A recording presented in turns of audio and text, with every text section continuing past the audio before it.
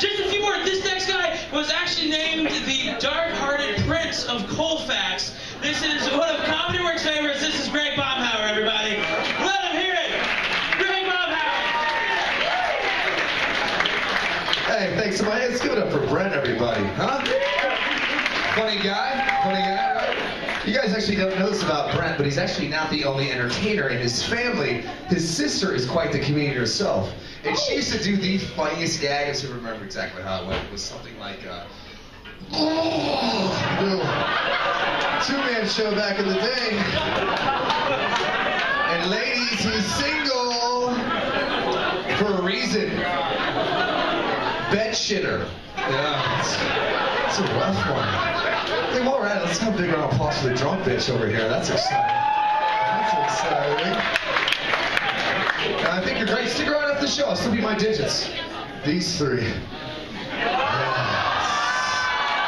Smells like success. Uh, sweetheart, I'm kidding. I wouldn't fuck you for all the meth in your purse. I just, you're clearly too fat to be on meth. Way too fat to be on meth. Stop shouting. Every time you do, I smell cum. It's distracting. I'm trying to tell jokes. God. Call your pussy the hurt locker.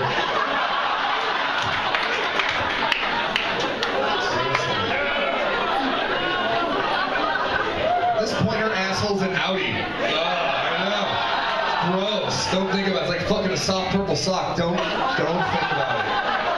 Think about it. Bitch got served.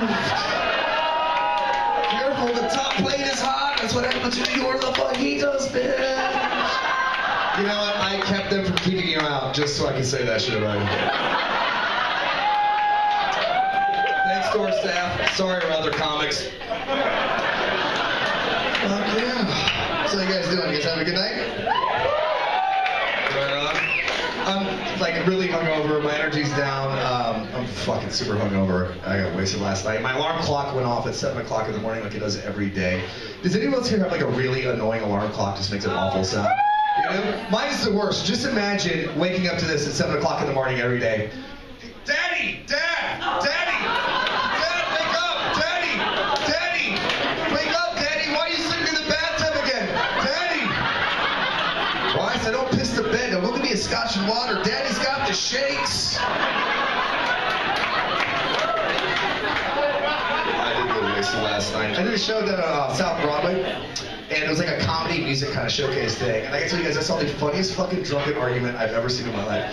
It was between some performer and some drunk chick in the crowd. And I can't remember exactly how the fight started, but I do know how it ended. With her storming off down the street, the guy yelling at her, well, Google me, bitch!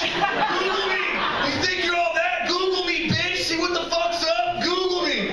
So I did. So I Googled him, and it turns out that guy was me. Stupid whiskey.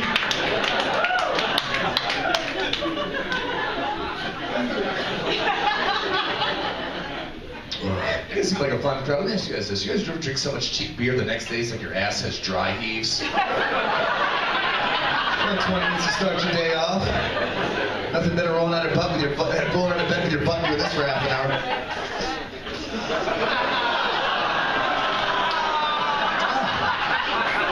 Thanks, ass. Now I can go to work.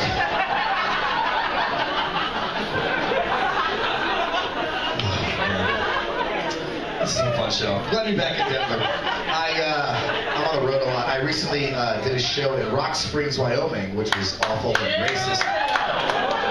Who's clapping for that shithole town? Holy shit, I kind of hope everyone in that town gets AIDS. I'm not even, I swear to God. Sorry, little kid, you were born here? Fuck it, you got AIDS now. Fuck it. But that town, and I, like, I knew it was gonna suck. I knew the show was gonna suck as soon as I walked into the bar and it smelled like fucking poor people, and not like homeless guy on the bus, but like that poor family smell. And I know that smell because I grew up really poor in every house in my neighborhood. That same stench of like stale tuna casserole and nicotine and crushed dreams, and tears of confusion. I don't know if you guys knew this, but this right here cleanest part of a poor kid's face. It's true. These tears of micro cleansers. But like I'm 10 seconds into my fucking act and I start getting heckled by this large family in the front row. And by large I mean uh, girth, not numbers. Big fat fatties, all of them. Trashy fuckers. Uh, father, older gentleman who is missing his leg, which I'm assuming he lost in the war against diabetes. And the mother looked like she should have fucking Princess Leia chained to her neck. It was awful, awful. And she came up to me after the show and she's like, Oh, Jumbo Wobby Like is still digesting Boba Fett. To this. But the worst though was the fucking daughter, and this chick was fucking trashy, neck covered in hickeys, or as I like to call them, Mexican love letters. Just awful. Like, like she hit that fourth abortion wall like 10 years ago. You know what I mean? Like, yeah, just fucking disgusting. Like her pussy was kind of like hip hop. It was only really good in the 90s when mostly black guys were doing it. Like,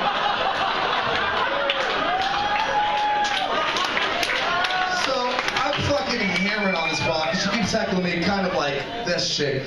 And uh, I'll never forget. It's like after the show, she comes up to me and she's like, "There you are," and I'm like, "I'm about to get punched in the face." And she saunters right over to me. She's like, "I like your personality."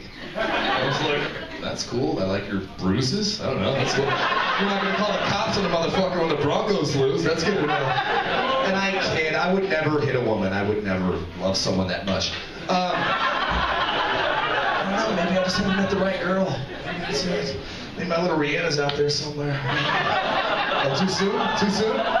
We saw those photos. It looked like he beat that bitch with an umbrella. Ella, Ella.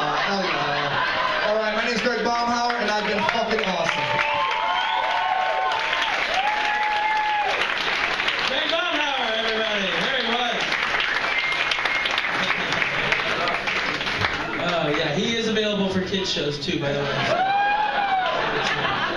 He was in front the front door. Uh, our next comedian, uh, you might have seen him on the Late Late Show with Craig Ferguson, another Comedy Works regular. This is Hippie Man.